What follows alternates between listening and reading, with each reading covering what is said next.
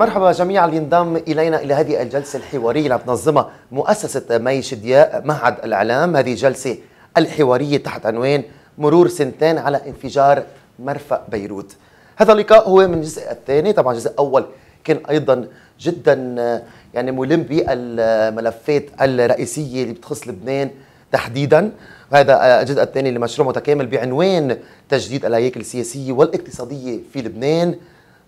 تنظمه المؤسسة بالشراكة مع قسم الشؤون العامة في السفارة الأمريكية ببيروت. موضوعنا مهم جدا اليوم بهم كل لبناني. لذلك ما يشد شخصيا بهم هذا الملف.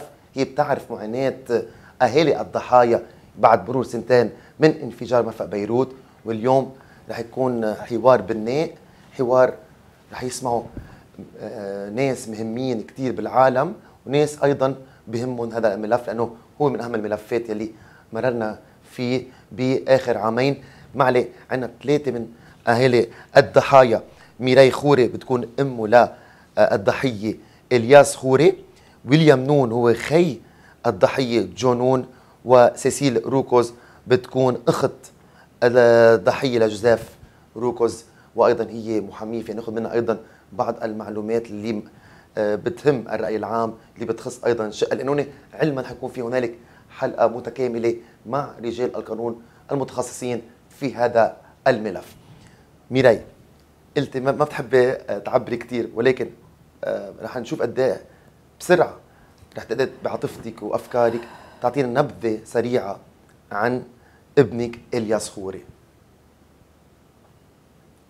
وبتأسف إذا عم رجعك على لحظات صعبة ولكن في ناس اليوم بيحضرونا بيحبوا يعرفوا أكثر عن إلياس خوري. قبل ما نفوت بملفات مهمة جدا. آه إلياس كان عمره 15 سنة. آه كان بعد عنده سنتين مدرسة تيتخرج ويفوت يعمل architect وكمان عنده كان آه عامل two rap songs كان بحب الراب كان بحب ال football. كان عنده كتير أحلام كتير أمنيات. و وأنا بعرف إنه كان رح يحققهم لأنه من هو وصغير عنده بيرسيفيرنس بيثابر على شيء وبيعمله يعني بس يحط شيء براسه بيوصل له أه بفتكر إنه يعني كان رح يقدر يعمل فرق بالعالم ويقدر يحمل اسم لبنان يعني. أه خسرته بلحظة وحدة كان بأوضته كنت عم تخبرينا أه هيدي آخر صورة. أو أول مرة إيه هون اوضته لا. مزبوط. هون كانت اوضته بوجه البور دغري بوجه الاهراء كان مواجه يعني كان مبسوط فيها إنه عنده أكبر view على البور. آه هيدا الحيط وقع عليه. قعد بالكوما 14 يوم بس آه آه ما يعني أنا كنت مفكرة رح يصير أعجوبة ورح يوعى ابني. بس ما صارت العجيبة ما إجت. وتركنا ترك هيدا الدنيا. أنا كنت بالمستشفى بهيدا الوقت. ظهرت من بعد نهار واحد يعني كأنه كان ناطرني حتى روح لعنده وبعدين ترك الدنيا. أنا كتير بندم على الأيام يلي قعدتها بالمستشفى لو كنت عارفة وضعه هيك أكيد كنت بروح بقعد حده هول ال 14 يوم مش مهم أنا شو بصير فيني. لو كانت آخر أيام بحياتي مش مهم أنا كيف برجع. أه إلياس كان أطيب شاب يعني ممكن تتعرف عليه. كان أه كل أم الله يبعث لها مثل إلياس. أه قد ما بحكي عنه ما بيكفي الكلمات أصلا الكلمات ما انوجدت تتخبر عنه بعد. الكلمات يلي ممكن تعبر كيف كان إلياس. أه كان بحب الكل ما عنده جراجز أه على طول بلاده هون مع أصحابه. إيه مزبوط. على طول أه أه بيضحك بيفرح.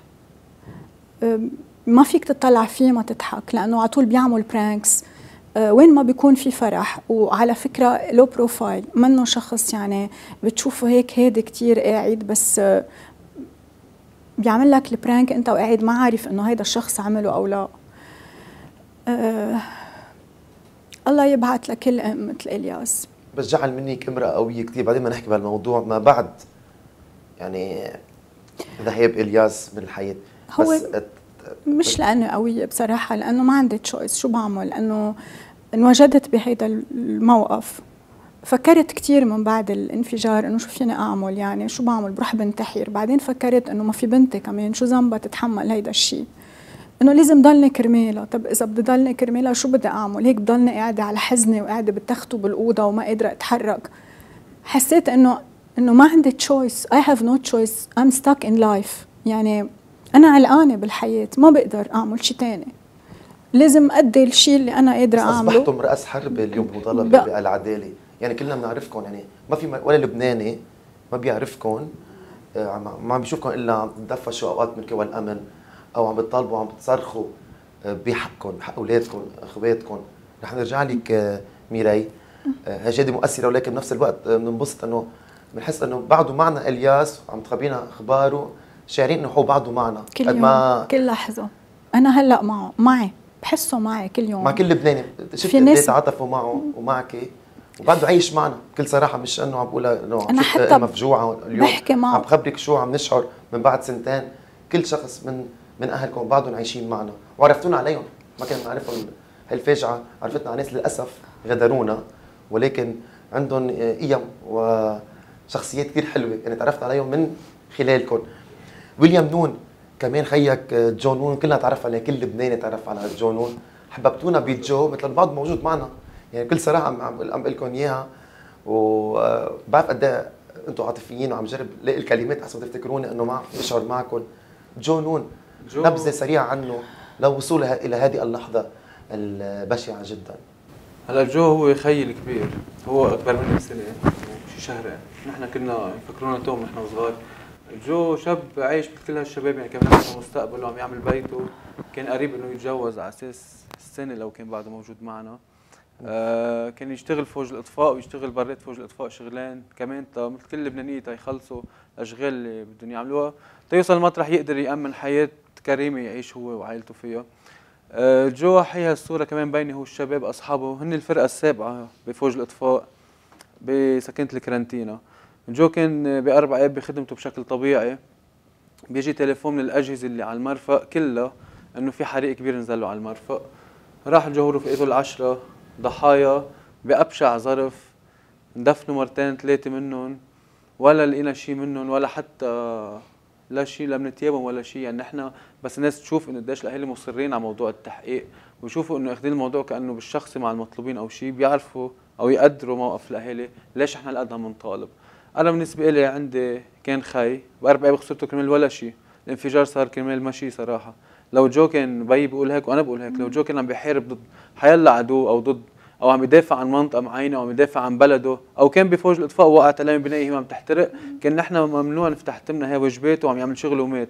بس مش إنه بينزل فوج أطفاء في تسع شباب وصبية اللي سحر فارس تيطفوا حريقه على أساس بيطلع إنه في قنبله لتنفجر أو في صاروخ أو سمي اللي بدك اياه أو يطلع في حزب أو نظام سوري مخبى أسلحة بالمرفق بيطلعوا بالشباب تبعنا. لا هذا الشيء ابدا نحن مش معقول نقبله ولا ممكن نقبله. بس برجع بقول لك لو مات جو دفاعا عن الوطن نحن أكيد ولا حدا شاف صورتنا. بس نحن لأنه ماتوا كرمال ولا شيء. هيك نحن عم نطالب ونحط اللي هو عن جد اجى حط سلاح مرفق بيروت بين المدنية. مثل ما بتقول طنط ميراي يعني ابنه شو له ذنب بالحروب الشرق الأوسط وقاعد بأوضته بكل سلام عم بيألف أغاني يموت كرمال حدا بده يقطع نترات على سوريا أو على غير محل. فنحن مكفين للآخر أكيد. وأنا بالنسبة لي جو هو يعني هو صار مثل يعني قضيته هدف حياتي إذا بدك أو نوصل قضيته هدف حياتي لسببين. أول شيء نحن بنعرف كيف مات. أنا بعد هلأ ولا ولا بعرف كيف مات جو شغلة ثانية بدنا نجرب نفرج الشعب اللبناني إنه إذا أنتم بتثابروا على موضوع بتوصلوا. لأن نحن بحالة يأس كلية كل ثلاث أرباع الشعب حتى قسم من الأهالي بحالة يأس. نحن بالشارع بس يلتقوا فينا بصيروا يسألونا عن التحقيق بطريقة إنه إنه كأنه على الفاضي اللي عم تعملوا أنا بدي اجرب أنا والأهل وكلنا نثبت للكل إنه بس نشد على موضوع ونصر بدنا إياه بنوصل له لو قد ما كان صعب. أنا بظن هذا أصعب ملف ممكن واحد يوصل له. بس إذا وصلنا أكيد إنه ممكن يغير كثير إشياء بالبلد ونحن كلنا انه رح نوصل لأنه بظن ثلاث أرباع الأشياء صارت واضحة. ميرسي آه ويليام سيسيل روكوز أختك أو خيك جوزيف روكوز. نبذة عنه سريعة بس لنعرف عن هذه الضحية اللي أيضا من ضمن أكثر من 220 بنسمع أوقات ناس بعدهم متقسمين من جروحهم عم بيموتوا بأشهر آه، آه، قليلة جدا يعني بالماضي. جوزيف مين جوزيف؟ وآخر لحظة وين كان؟ جوزيف آه، هو نحن بنتي نحن خمس ولاد بالبيت آه، في أختي أكبر مني أنا. جوزيف دغري من وراي. أنا بس أحكي عنه بالشخص إيه ما في. اجى دغري وراي يعني بنتين واجى الصبي كان فرحة البيت يعني بدك تعتبر. نحن خمس ولاد عائلة مثالية. آه، عائلة مثالية لأنه مش إنه أنا خيي عم بحكي هيك. كل الناس بتعرف نحن شو عائلتنا كيف هالقد ضابين على بعض. وقد إيه بنحب بعض. جوزيف كان نحن كلنا مربيين بطريقة كتير حلوة بس هو كان spécial صدقني. جوزيف spécial.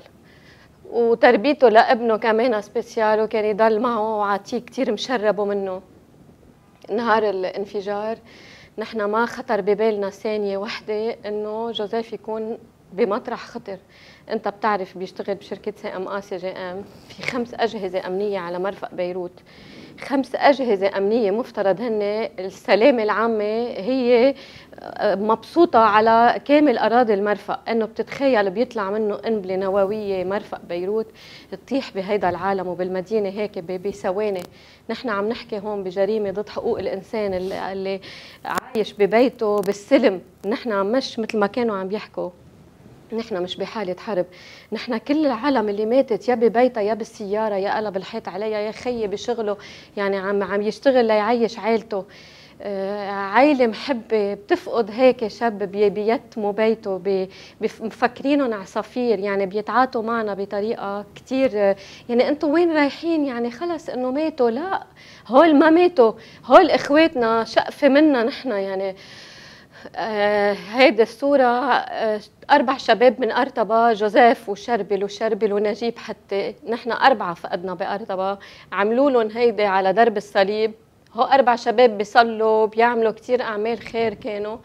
على درب الصليب يلي هن شقينا عملوا لهم هيدا تمثال وعملوا لهم هيدي الشعلة. خسرنا أربع شباب من خيرة شباب أرطبة يلي كانوا كل عمرهم بيصلوا وبيعملوا كل أعمال الخير. هيدي أختي نحن ما فينا يعني أنا هلا بس أحكي بالشخصي عنه دغري ببكي لأنه كان عن جد عسل جوزيف عسل. ما فينا نحن ما رح نطلع من الشارع لأنه قضيتنا محقة ونحن مثل ما قال ويليام وميراي نحن متنا هيك.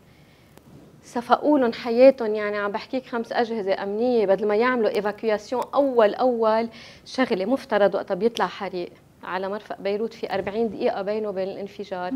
قد منهم أغبياء. أنا أنا بسمح لحالي أقول عنهم فاشلين وأغبياء. وما بعرف شو اللي بدك تقوله يعني هلأ كل واحد بيصير يقول أنا مش عامل شيء بلا كلكم عاملين. يعني انت ما عملت évacuation لمرفق كان فيك تخلص 80 على القليله 80 شخص بحرم المرفق حنتوسع أكثر أنا وياكي بهالنقطه أنه مهمه جدا شو هاللغز انه ما حدا قدر فيهم يضهرهن. ويتصل أيضا بفوج الإطفاء ليجي. يعني أنا هيدي another crime هيدي هيدي جريمة ثانية كان معهم 40 دقيقة. كان بدل ما قالوا فوج الإطفاء نزلوا طفوا كانوا آه، فضوا المنطقة كان عامل evacuation بس, بس إيه، رح نرجع معكم بكل هالتفاصيل. خلينا أول نتطرق إلى التطور القضائي اللافت يلي طرأ على ملف التحقيق في انفجار المرفأ. وتمثل بموافقة مجلس القضاء الأعلى على تعيين محقق عدلي في الجريمة للبدء بالقضايا الضرورية والملحة إلى حين الفصل بقضية كف يد القاضي طارق بيطار. من جهة ثانية أكد مجلس القضاء الأعلى بال إجماع قرار السابق المتعلق بمشروع التشكيلة الجزئية الخاصة بالهيئة العامة لمحاكم التمييز ورد التعديل الوارد إليه بهذا الخصوص متعلق بزيادة غرفة إلى هذا شيء ثاني أول جزء من الموضوع آه اليوم أنتم احتجيتوا بهذا عن هذا القرار. آه ليش احتجيتوا؟ شيء شيء بيفيد القضية أو بأخرها نحن مطلبنا واحد. يعنى ذلك أنه محاولة جديدة وأخرى لتضليل الحقيقة. أنا في تدخل سياسي بالقضاء. نحن كلنا أول شيء امبارح أنا نحن اللي اليوم يمكن تعرفنا فهمنا مزبوط شو الموضوع.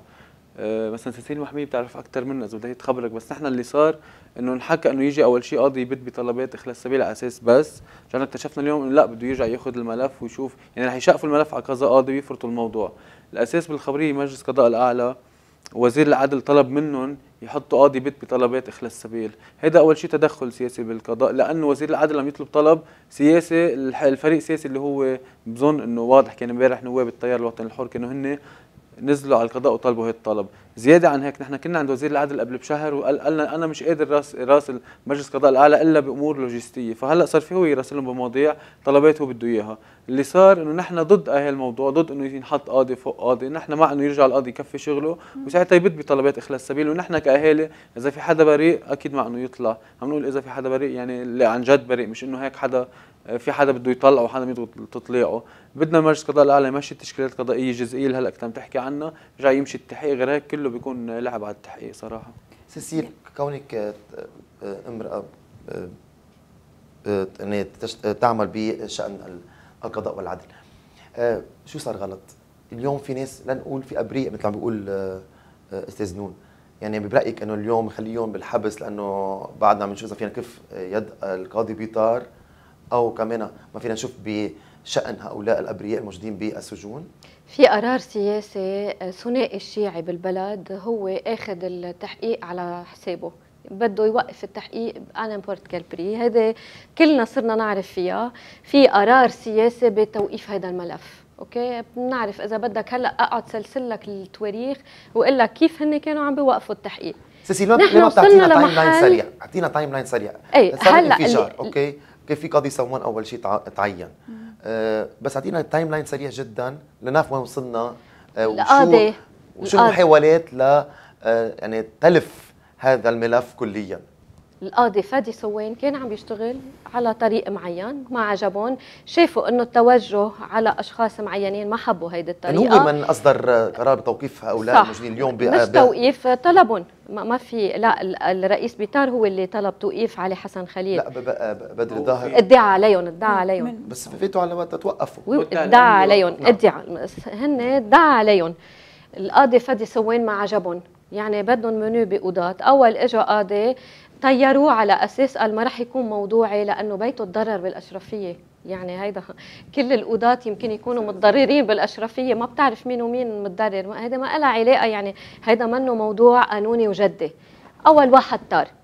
بشهر اثنين هيدا بشهر اثنين آه طار القاضي فادي سوين. دغري الوزيرة ماري كلود آه نجم عينت القاضي بيطار ووافق عليه مجلس القضاء الأعلى وبلش عمله. كان قبل بيومين أمين عام حزب الله كان طالع بالعالي وعم بيقول نحن بدنا التقارير الفنية. أول شيء ما عنده صفة يقول أنا بدي تقرير فني. مين بيكون هو بالنسبة لهذا التحقيق؟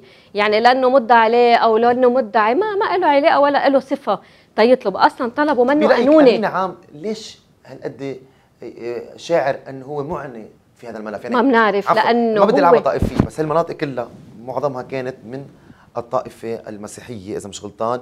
من أحزاب مختلفة من تيار وطني حر من كتائب من حتى بس الضحايا كانوا من كل الطوائف من كل الطوائف صح. بس كل الطوائف. أوكي بس ليش لاحظنا إنه هقد في اهتمام كبير جدا من امين عام شغلة أنا مش إنه في اهتمام لتوقيف التحقيق ولا حدا ينسى إنه في وفيق صففت على العدلية. هين كل القضاة ولا حدا بيان واحد ما طلع وما ننساش أحداث غزوة عين الرماني وكيف اوصوا على المناطق كرمال يشيلوا القاضي بيطار وكان نفس الوقت قاعد ممثل مع الرئيس بري. ولا حدا ينسى الخطابات كل جمعة. السيد حسن نسي إسرائيل صار كل هدفه تحقيق المرفق هودي كلهم أكيد مش صدفة مش يعني ليش هالقد مهتم موضوع اساسي أي شخصية من حزب الله لا صح؟ أنا اللي بدي أقول لك يعني أنا بس هون في لغز كمان.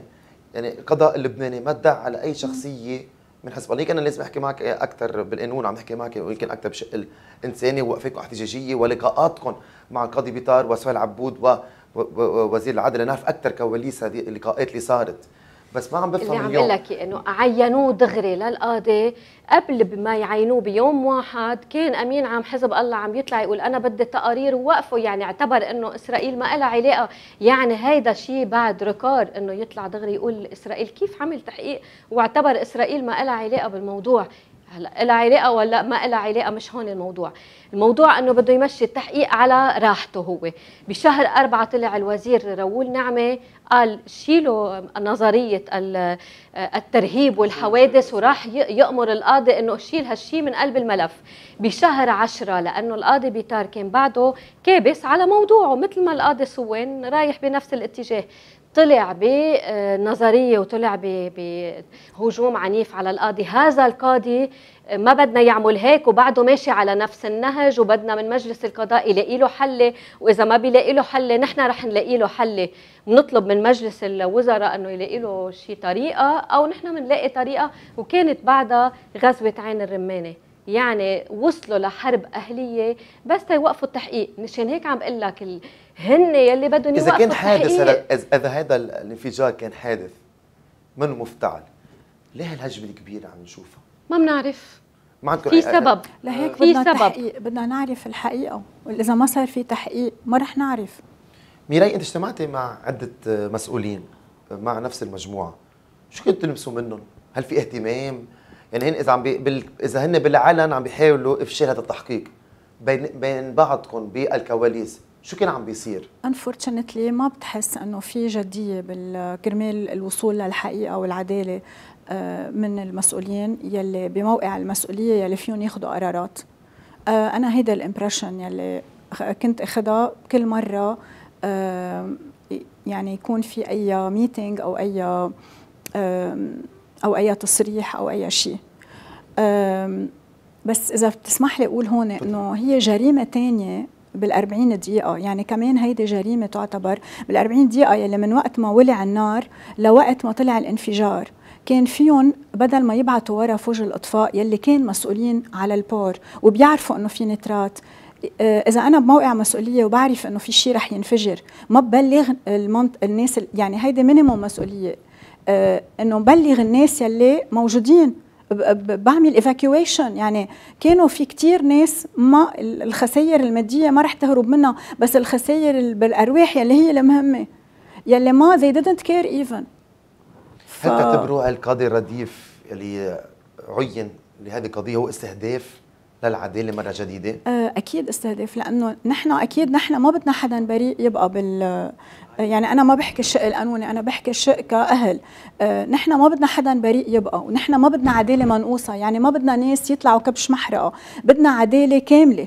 بس كمان لازم الملف يمشي كله. يعني ما فيك تمشي الملف نصه وتخلي النص. يعني أنا أنا موقوفة وأنا محبوسة أكثر من المحبوسين يلي موقوفين. لأنه هن ممكن يشوفوا أولادهم. أولادهم تخرجوا رح يفرحوا منهم. ممكن يظهروا يشوفوهم. بس أنا وين؟ وين الأمل إني أشوف ابني؟ أنا خلص أنا علقانة. بحبس أكبر من حبسهم إلى الأبد. أنا مش رح أظهر منه هيدا الحبس. كل الأهالي ذات الشيء يعني مثل ما أنتم شايفين وصول العداله ممكن يخليك آه، آه، تخرجي من هذا الحبس عم تحكي عنه؟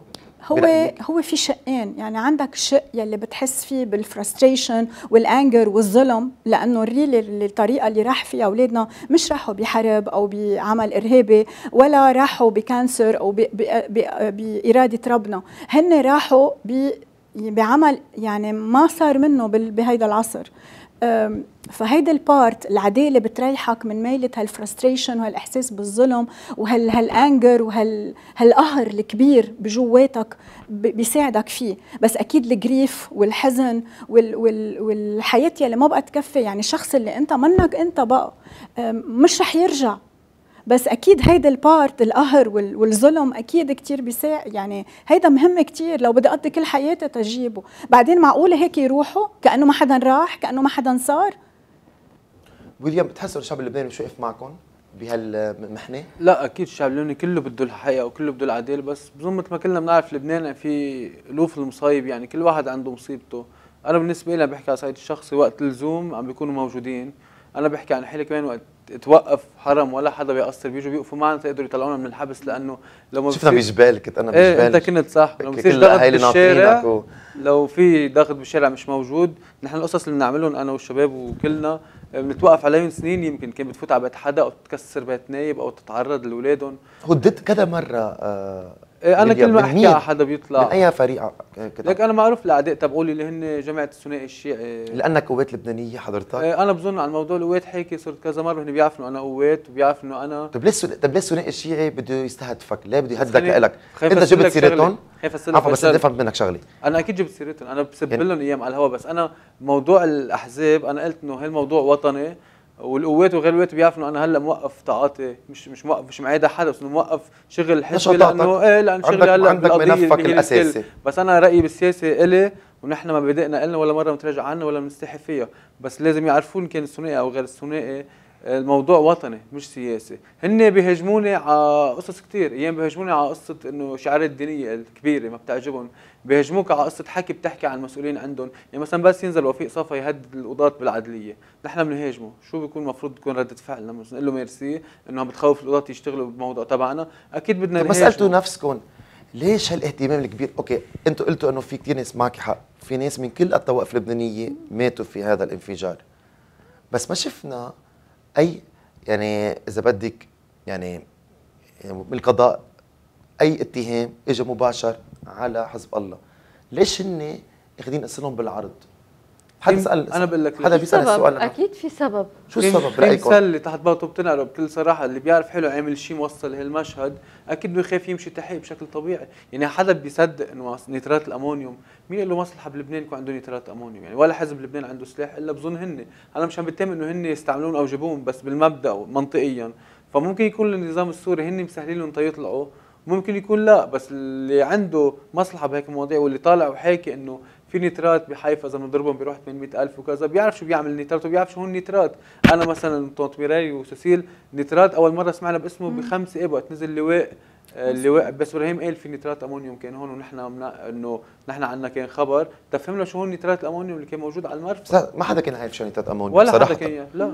يعني حتى حتى إذا شفت تهديد مرة نتنياهو بخريطة فرجها العالم فرجها كذا أماكن آه، ممكن يكون في حزب الله مخبى أسلحة. بس وقت ما جابوا سيره نيترات أمونيوم وكان منها البور والمرفأ. بس بالتحقيق في قصص مبين لازم الكل يعرفها إنه اللي تقريبا هو ضالع بموضوع نيترات الامونيوم برا بالدول برا مش هون مش إنه هو ماشيين هون. النظام السوري هن جماعة النظام السوري وهن جماعة أربع خمس شخصيات مسيحية سورية علينا عقوبات أمريكانية هن عايشين بروسيا وهن شغلتهم تجارة سلاح تقطيع سلاح على سوريا مين حليفهم هون اللي بيساعدهم؟ أكيد بظن إنه مفروض جماعة الثنائي بعتقد هيك. تحقيق ببين إذا أنا غلطان يقولوا غير هي بسالكم بعدين شو كل واحد لمس معلومات؟ بس أقول لك شغلة أهمية إنه يخلص التحقيق ونعرف الحقيقة مشان ما نضلنا نقول ليش هيدا وليش هيدا وليش هيداك. فنحن كلنا هدول تكهنات. يعني ما ما أنا ما بقول هيدا ليش وهيدا ليش.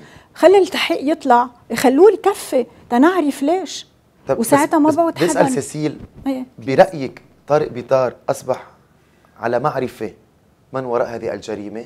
أكيد. لذلك كان التسريع في محاولة آه، تضليل العدالة أو كف يد القاضي بيطار برأيكم وتقعدوا معه بنفس الأوضة ما بيلمح لكم.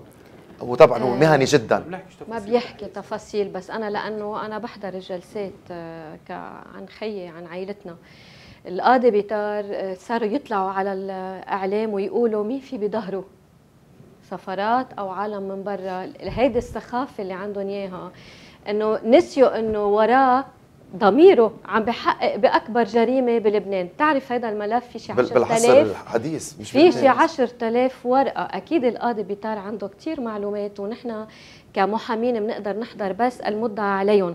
شهود وراء إذا عامل استنابات إذا جايب وراء من برا نحن ما فينا نعرفهم لأن كمحامين. بس يطلع القرار الظني بصير الملف الكل المحامين بس يتحول على المجلس العدلي. كل المحامين رح يصيروا يعرفوا على أي أساس طلع القرار الظني وشو الأرجيومون وعلى أي أساس دعا بس اليوم عم تسألني نحن ليه مغتاظين من هيدا القرار. كل شخص مدعى عليه بحق له يقدم طلب تخلية سبيل. نحن كلنا متوافقين عليها هذا الموضوع. حق من حقوق المدعى عليه يقدم طلب تخلية سبيل. نحن مش ضد الأشخاص الموقوفين ظلما أو حتى اللي مش أو حتى اللي مرتكبين يقدموا طلب تخلية سبيل. بس نحن ضد إنه يخترعوا قرار أو يخترعوا شيء مش قانوني. يعني هيدا قاضي رديف هذا منه قانوني شيء تصرف بعد منه صاير؟ ابسورد يعني من وين طلعوا هيدا القانون؟ حاولتوا آه، تواصل مع آه، سهيل عبود آه لا نحن اليوم نزلنا عملنا هاي الوقفة ونحن قلنا طالما ما في عدالة بلبنان رح ننزل بكرة.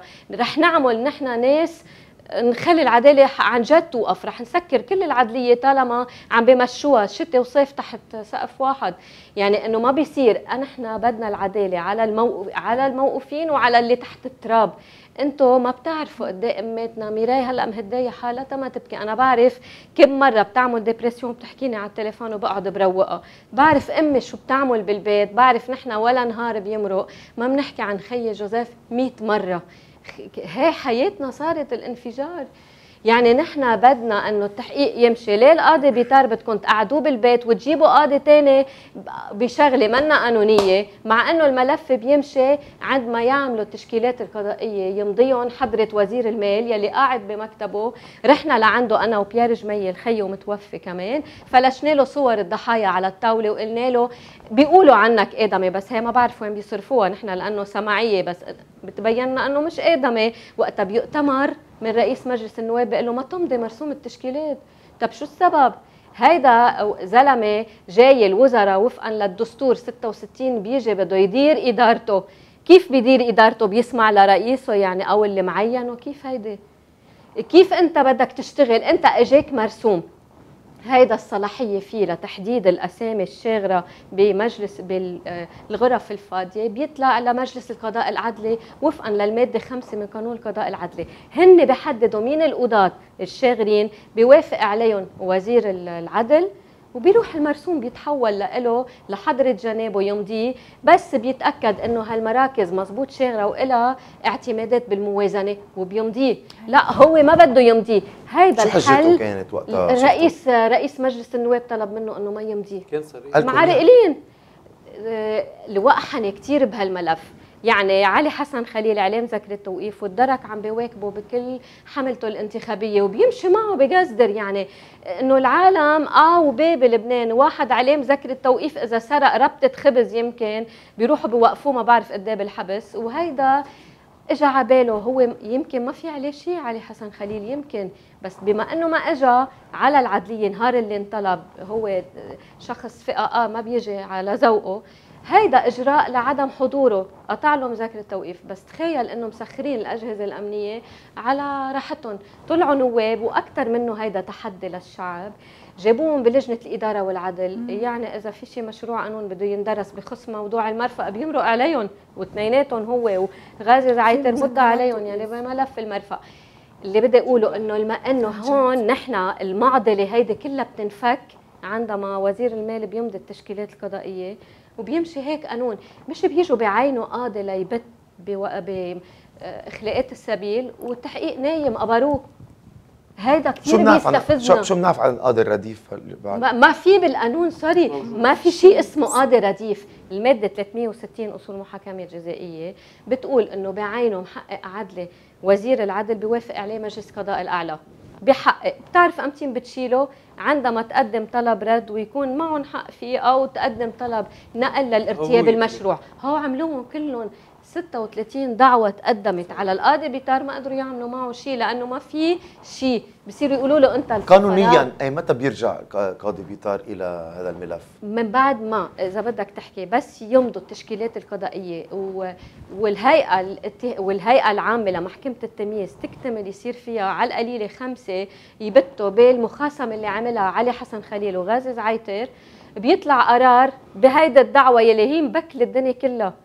ساعتها الناجي عيد القاضي يلي عاملين دعوة رد بوجهه بيقدر يبت بدعوة القاضي بيتار بيقدر يرجع على شغله. هيدا المسار القانوني يلي هن عاملينه يعني هيدا إذا بدك تفكر هيدي عمل شيطني إنك تخاصم قاضي بقرار اللي هن خاصموه فيه للقاضي ناجي عيد وبكلوها قدام الهيئة العامة لأنه هيدي دعوة دغري بتنرد يعني اليوم الدولة ضد أهل الضحايا. هيك هيك عم نشوف إيه؟ هالصورة اليوم. صح. 100% يعني اليوم الدولة عم تستعمل كل ما عندها من نفوذ كل ما عندها من قوة قدام الأهالي اللي بس عم يستعملوا صوتهم ووقفاتهم الاحتجاجية. برأيك بآخر المطاف مين حيربح هذا الصراع المتواصل بينكم وبين الدولة؟ ما عم نشوف بقى بين المجرم والعدالة. يعني عم نشوف بينك بينكم وبين الدولة. رح نصعد نحن ما بنحكي سياسة كليتنا أنا قد إيه بطلع ولا مرة حكيت إنه أنا خيي كان معه بطاقة بطاقة تيار وطني حر. في شي مرة أنا حكيتها بس أنتوا اليوم ما بحكي. بس أنتوا اليوم بالبيت لأن نحن ما بنحكي سياسة إيه بس أنتوا اليوم بالبيت آه نحن مش مع حدا. لا عفوا عفوا. بمحل ما كان خيك وغيره بالبيت مع طيار معين. هل بعدكم بتآمنوا بهذا التيار من بعد الانفجار؟ وليش لا أو إيه؟ نحن ما بنتعاطى السياسة وأنا أصلا قبل الانفجار عملت بلوك على كل موضوع السياسيين قبل الثورة حتى لأنه اعتبرت أنه لبنان كتير بمطرح ما حدا عم بيعمل كتير أشياء هيك تفاجئنا كشعب نحن بيقولوا لك بيحكوا نظريات في فساد. مين هو اللي فاسد؟ هيك من قبل حتى هذا الحديث كله من قبل.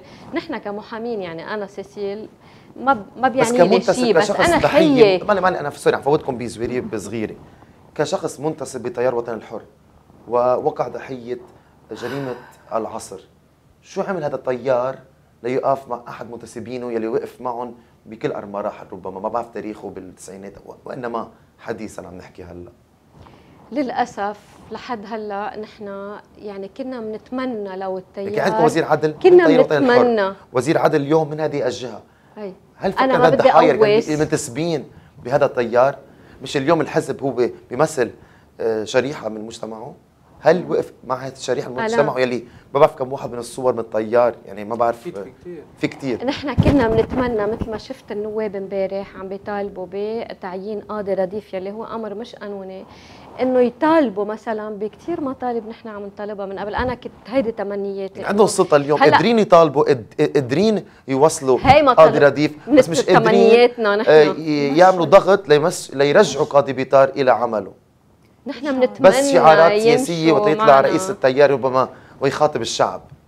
في مشاريع قوانين انوضعت من النواب التغييريين هلأ وعم بيعملوا lobbying عليهم مع كل النواب وفي كمان مشروع كثير مهم تقدم فيه النائب زياد حواط بطلبات الرد والنقل والمخاصمة.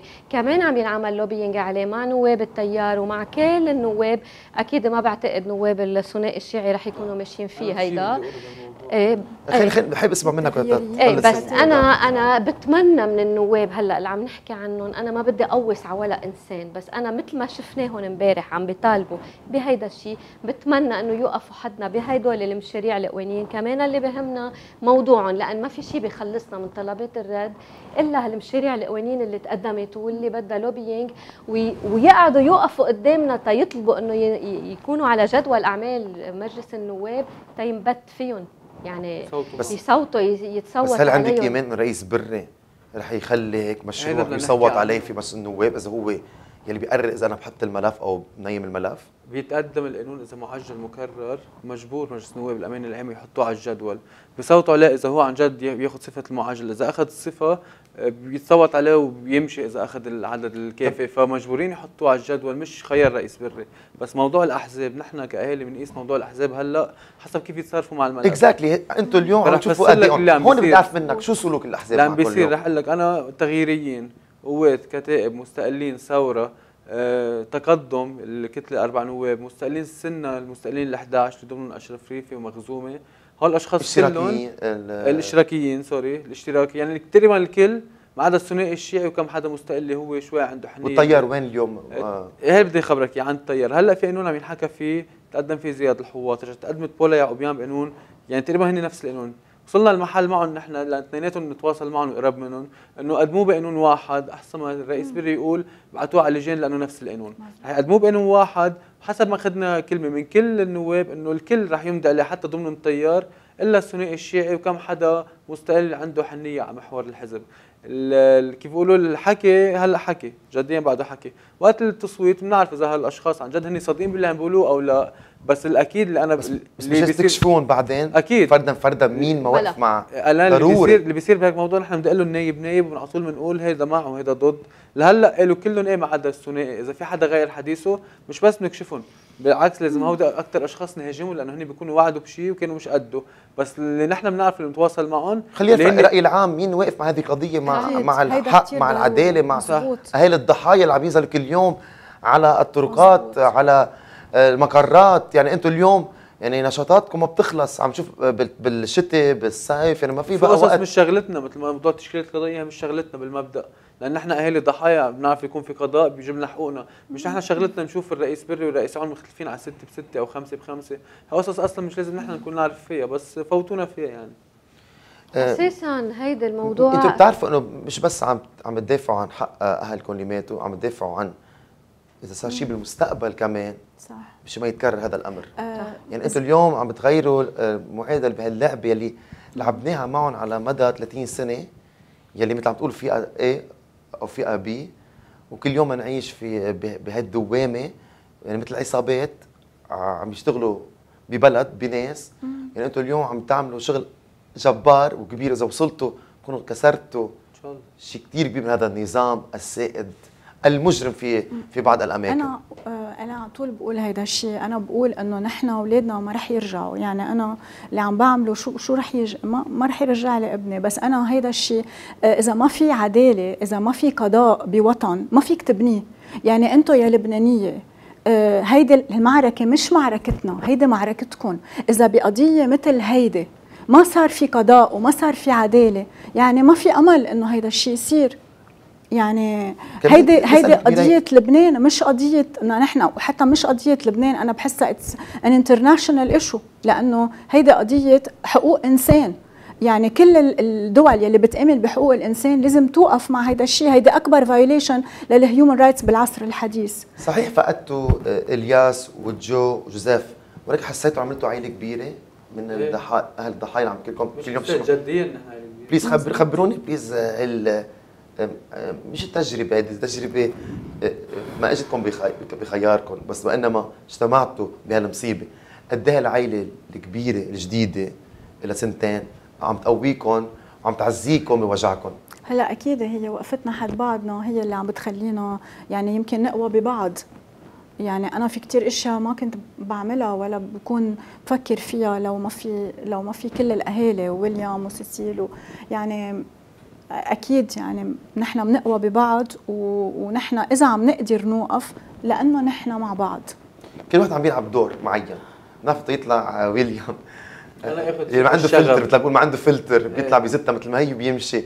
في هون تبع الأمات بتلعب دور ثاني كل شخص عم بيلعب دور معين. سيسيل إخذ الشق القضائي لأن هي محاميه وبتعرف تفاصيل بتحضر جلسات طونت ميراي إخذ الشق الدولي اللي عم نجرب نسعى لجنه تقصي حقائق دولية. هون بدنا نعرف وين وصلتوا كمان. في سؤال كثير مهمين تعرفوا فيهم هلأ أحسن لأنه عندنا الوقت عم يدهمنا. بموضوع آه وين قدرت توصلي اليوم دوليا؟ هلأ نحن آخر شيء اللي فينا نقوله it was a good step دولية. كانت لما ال EU parliament ب 2021 بسبتمبر 2021 طلع resolution طلع قرار بيقول إنه بتحقيق دولي للبنان. ب independent investigation للبنان.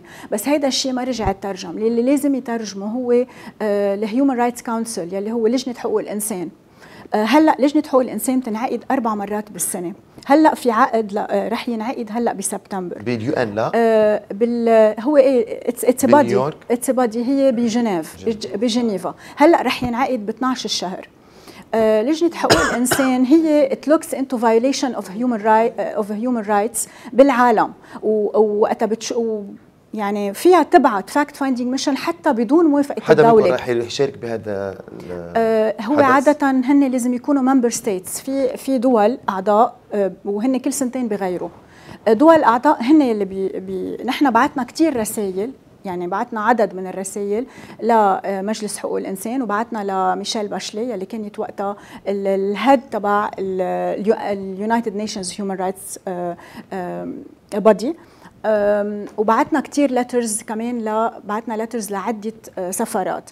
ال human ال human rights council بده تقوم دولة دولة وحدة من ال member states تقول إنه أنا بدي آه، أعمل طلع بهيدي ال violation of human rights وبيصوتوا عليها. هلأ آه، توصلنا إنه يعني في دول بتقول أنا رح نصوت معكم بس we need country تقوم تقول إنه هيدي violation أنا بدي. يلي يلي عرفنا عليها. آخر شيء حتى انقالت على ال TV على ال MTV بفتكر آه، حدا طلع قالها قال إنه اللي واقف هلا هو آه، فرنسا يعني لأنه الملف اللبناني مع فرنسا. so we need فرنسا هي توافق إنه يصير في fact finding بهذا الملف ليتم تصويت عليه. بهذا الملف تصوت عليه. هل اجتمعتوا مع سفيره فرنسية؟ هلأ بشكر كثير آه، أنا رحت عملت وقفة قدام السفاره الفرنسية آه، وبعثت مكتوب بس ما جاوبتني السفيرة. وهلأ يعني في مشكورين كل الكتل والنواب يلي مضيوا على letters بعثوا لل human rights council قبل ما ينعقد. هلأ يعني حتى البرلمان اللبناني هلأ عم بيطالبهم ب fact finding mission يعني هالمرة it's كتير important حتى هون بنطالب كل اللبنانية يلي برا. وحتى مش اللبنانية لأنه أو اللي بفرنسا. اكزاكتلي بفرنسا. وبكل الدول. إنه يطلبوا هذا الأمر من حكومتهم أيه. بالبد في هذا الملف. صح. ولأنه من كل الدول كمان لأنه آه، هيدي القضية منا قضية لبنان. لأنه راح فيها من كل الجنسيه من كل الجنسيات آه، من عدة دول. وكمان منا قضية آه، يعني قضية كل شخص بيامن بحقوق الإنسان. يعني ما فيك تآمن بحقوق الإنسان وما ما تتعاطف مع هيدي القضية، هيدي قضية كل أم وبي مش لكن مش الصورة كيف في عمل في جهد عم بيصير على الجهة الخارجية مع جمعيه تعنى بحقوق الإنسان. مزبوط. وداخليا أنتم اليوم متكلين على النواب انه يعملوا قانون معجل. مكرر, معجل مكرر. لا يوصل إلى التصويت. لتعديل بعض مواد القانون يلي هن المادة 119 و 125 751 فترة زمنية لنشوف نتائج على هذا الملف. قديش فترة زمنية ممكن؟ يعني هلأ إذا الرئيس نبيه بري بحطها على جدول الأعمال بس بصوتوا بس على بس كلهم مضيوا في شغلة بس بدي أقولها. هو بس يعين رئيس بري جلسة تلقائيا هي بتكون على الجدول لأنه هي معجل مكرر. بس رئيس بري لم يعملوا هلا بس وصلت وصل لهذا الدرجة. إيه لا بس رئيس بري اللي عم يعملوا هلا عم قدموا كل شيء وحدوا. بس في شغلة كثير بس عم فصل شوي step by step نفهمها قدموا المشاريع. هلأ بس ينحط جلسة بس الرئيس بري يدعي الجلسة مشان إقرار القوانين بس بتلحق على التصويت بصير هون بس اللي في في يعمل شغلة اللي هو بظن هيك نهار سمع إنه راح يعملها. راح يأخر الجلسة مش رح يعمل هلأ جلسة رح يدعي لجلسه انتخاب رئيس جمهورية. بمجرد ما يدعوا لجلسه انتخاب رئيس مهام المجلس بتوقف كتشريع. ناخبة. فبدها تتأجل الموضوع بعد يطلع رئيس جمهورية. هونيك إذا رحنا فراغ كمان مشكلة ثانية هلا. فمن هيك متكلين على حل. يا حل طنط ميراي يا حل تشكيلات قضائيه يا حل المجلس. بس أكيد في عم نشتغل على ثلاثة الأهالي اليوم عندهم أمل من هالثلاث وحده من الثلاثه تزبط. لا بس أقول لك تعديل القوانين الون تيرم الأقرب تعديل القوانين إيه بس إذا عمل جلسة قريبة. تعديل القوانين للون تيرم يعني مش لهلا مش بس, بس بقول لك نحن الحل القانوني هلا يلي أسرع شيء إنه التشكيلات القضائيه وزير المال يعمل شغله إجباري هو يعمل شغله ويمضي التشكيلات لأنه مثل ما فسرت لك هو عليه واجباته بس يمضيها. طب مش هو. بس بدي أخذ منكم بس هيك أجوبة سريعة جدا عن دقيقتين. يعني كل واحد يعني مش إيه أم لا بس أكثر شوي. هل تعتبرين هذا الانفجار مفتعل أو حادث؟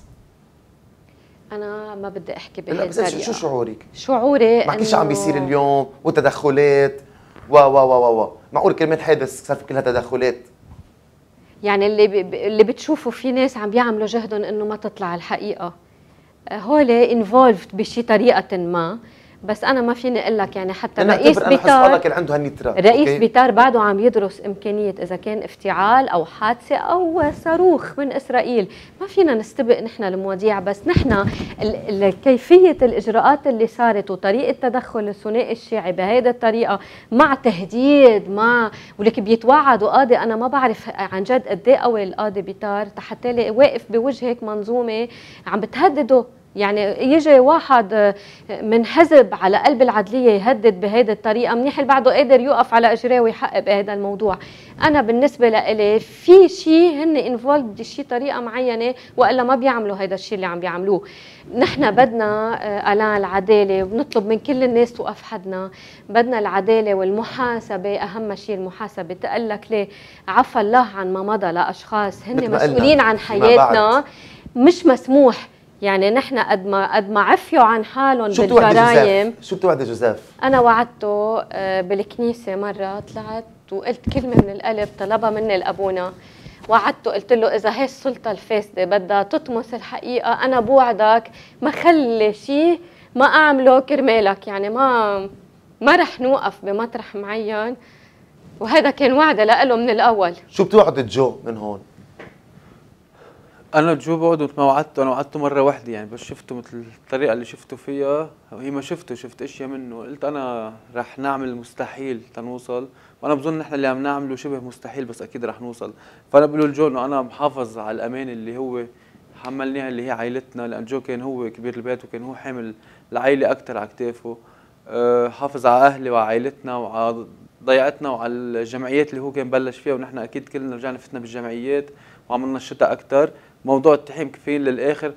أنا بالنسبة لي هذا التحقيق كثير هين يبين لأنه هالقد صار مبين قصص ومستندات وبظن القاضي أو برا إذا بدهم إذا برا ساعدوا شوي القضاء اللبناني بيقدروا يسرعوا أكثر بوعد جو إنه رح نوصل بس عندي تعليق على موضوع إنه إذا الانفجار مفتعل أو لا. أنا اللي بعرفه إنه نترات لها سبع سنين بالمرفق ولا مرة صار لها شيء ولا غبرة أكلتها وكل شيء. بس انحكى عنها انفجرت أكيد مش بالصدفة.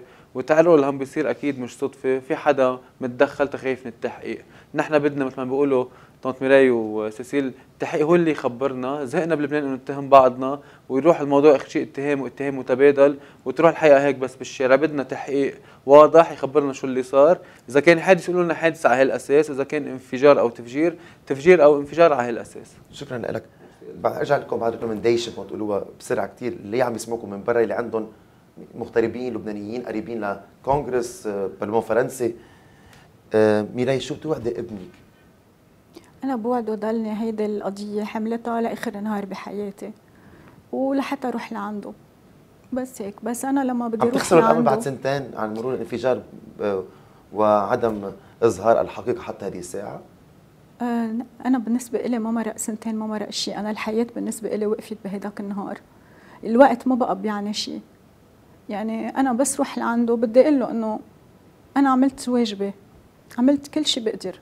إذا بدك تعطي وصايا للناس مؤثرين برا آه، بخص- بخصوص هذا إيه. الملف بسرعة. بطلب منهم هيد هيدي القضية قضية حقوق الإنسان مثل ما ذكرت يعني إذا أي حدا بيآمن بحقوق الإنسان أنا كمان بدعي كل ال- ال- الناس يلي برا آه، يحكوا للممثلين تبعهم بال human rights council. دول يلي بال human rights council هلا لأنه الجلسة رح تنعقد بلش انعقاد ب 12 الشهر. آه، بطلب منهم هن كمان يظهروا حتى مش كمسؤولين كمان آه، كبيات آه، يطلعوا بولادهم ويشوفوا نحن شو عايشين آه، ويطلبوا منهم إنه يعملوا fact finding mission أو تحقيق دولي لحد ما يصير عنا نعرف الحقيقة. ال minimum هي ال right تبعي إني أعرف الحقيقة وكل الضحايا يعرفوا ليش. آه، ليش هيك صار ومين ليش هيك عمل؟ أنا ما رح أقول مين وليش وكيف يعني بس يطلع تحقيق. إنه يحكوا مع البلدان الممثله في هذه. الجلسة رح تصير تلابي مع البلدان 12. ب- كرمال يصير في تحقيق أكيد دولي رح تحدد أكثر معلومات على الأونلاين هلأ بهال weekend ليعملوا ضغط لآخر لحظة. مزبوط بيكون بي- بي- بيساعد كثير عالم ليقدروا يوصلوا لممثلينهم. شو التوصيه الأخيرة لناس مؤثرين في الخارج اللي عم بيسمعوا اليوم توصيتك؟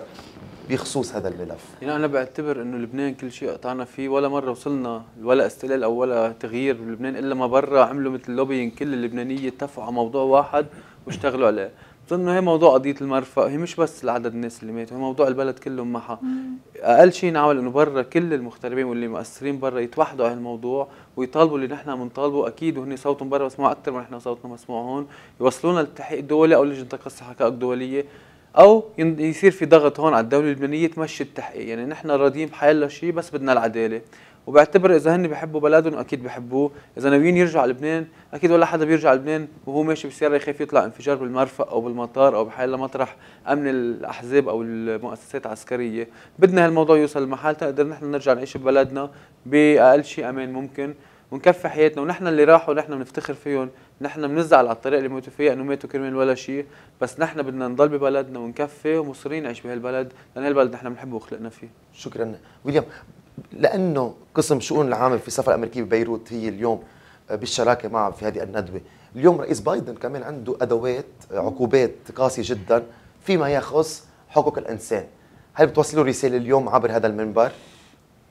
يعني عقوبات تستهدف ناس عم يعرقلوا التحقيق أو ناس يلي هن وراء آه، كل ما يحدث اليوم. هلأ أكيد يعني ال- الرئيس بايدن ما بيقدر يعمل شيء إلا أشخاص يلي نحن عم نقول عم بيعرقلونا يعملوا لهم عقوبات إيه. جربت شو ما إيه. تقدموا ليستة للسفاره الأمريكية أو تواصلوا مع ناس ناس- من واشنطن؟ إيه في ناس عم تشتغل على هذا الموضوع ونحن ما فينا نحكي كثير فيها.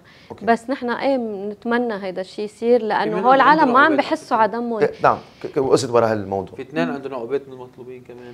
أه بدي أقول لك شغلة أنا بعض المعلومات بتقول لي إنه عم بي عم عم يشتغل على ملف قانون لا لا لا يستهدفوا بالعقوبات في قريبا. في شغل بس في شغل وقت. برا نحن ما فينا نفصح نعم. عنه هلا. بس, بس- اللي بدي أقوله أنا هيدا جريمة please من الناس كلها بدي أطلب من اللي برا ومن اللي جوا انسوا الدين وانسوا السياسة وما حدا يحكي باي زعيم تابع. نحن ما بيعرفوا هن كيف فتشنا على إخواتنا. خليني أقول لهم نحن شلناهم من أكياس الموتى والجثات كان فيها تصير معهم مش معنا. نحن ما بنقبل إنه نشوف كل اثنين ثلاثة أو كل اثنين صحفية أو رجل دين أو هيدا عم بيعمل تحقيق والقاضي بيطار قاعد ببيته. بليز اعتبروا هيدا موضوع موضوع وطني. ما بقى كل واحد يحلل على ذوقه. كل واحد بده يعتبر إنه هيدا الحزب هو له علاقة أو ما له علاقة. هي جريمة سياسية أو منا جريمة سياسية. هي جريمة وطنية. طالت هالمرة أخواتنا بس فيها تطالكم لإلكم وإذا ما في ناس تحاسبت ما رح يصير في بلد إذا ما في محاسبة لناس أخطأوا. في عالم هن مستلمين زمام الأمور من أمنيين من سياسيين من شو ما كان وزراء أخطأوا كثير يعني. نحن ما بدنا هلأ نوصف الفعل. بدي أقول لازم يتحاسب الشخص يلي قتل ودمر نعم. المدينة. شيلوا please الأحزاب. وشيلوا الدين من هذا الموضوع. ميراي. بس بدي أقول شغلة إنه ال United States هي هلأ member states of the human rights council وفيها تعمل هيدي ال resolution هلأ. لكن آه، من هذا المنبر منناشد السفارة الأمريكية ما زال نحن اليوم تحت آه يعني آه, آه، بيقولوا بنناشدهم انه to table resolution بهيدي الجلسة اللي عم تنعقد هلأ to have a fact finding mission للبنان نحن كوسائل اعلام كصحفيه رح نوصل هذه الرسالة أيضا. بعد شغلة. بس زرنا السفارة وقدمنا طلب رسمي بس آخر إيه زرنا السفارة وقدمنا طلب رسمي وناطرين جواب هالجمعة من السفارة. وزرنا السفارات الأعضاء الثابتين بالأمم المتحدة يعني أمريكية روسية صينية روسي آه فرنسية بريطانية. حسينا في جو شوي قبول ناطرين منهم جواب رسمي. إن شاء الله. هي اللي سمع اليوم يأثر على قرارهم و MCF دائما منبركم وهذه الندوة رح يسمعها الالاف وناس مؤثرين في صنع القرار آه، في الخارج. وكمان المغتربين آه، رح يسمعوها. كان حيكون عندهم دور كثير كبير يوضعوا ضغوطات على المسؤولين تبعهم أو اللي انتخبون في بلدان مختلفة. اذا آه، ميراي ويليام سيسيل نحن دائما معكم. هنا وخارج هنا والشعب اللبناني دائما معكم. هذه قضية وطنية لبنانية بامتياز وتعنى بحقوق الإنسان وبكل إنسان عايش على الأرض. واللي عم بيطلب انه يكون عايش بسلام وأمان للأسف. جريمه العصر. اذا نشكركم دائما لهذه المتابعة. نشكر مؤسسة ميش دياء ومعهد الإعلام وقسم الشؤون العامة في السفاره الامريكيه في بيروت. اذا شكرا لحسن المتابعة وإلى اللقاء.